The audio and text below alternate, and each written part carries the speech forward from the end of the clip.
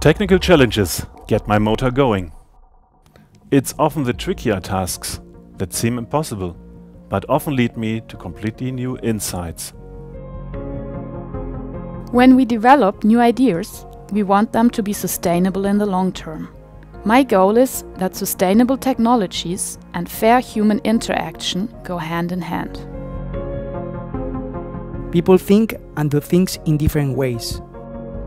No matter where I am, I get inspired by people and their cultures. Working together with others is inspiring and an essential ingredient for success. That's the only way to improve. Perspective. A different point of view.